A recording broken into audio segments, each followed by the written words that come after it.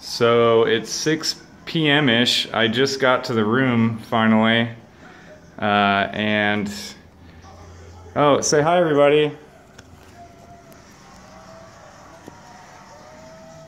Oh, hey. Hey, Jodan. How's it going? Hi, Clay. Hey, Eddie. Eddie, thankfully, was awake. Otherwise, uh, I'd be just hanging out in the lobby. Oh, what's that? Oh. Hmm. Let's see where everyone else is at. Do do do. I wonder what Steven and Adam are doing. Oh, hi, Steven. Glad to see you too, man. Do do do. Man, I wonder what Adam's doing. He must be pooing. Oh, oh, hi, Adam. How's it going, buddy? Good, glad to see you too.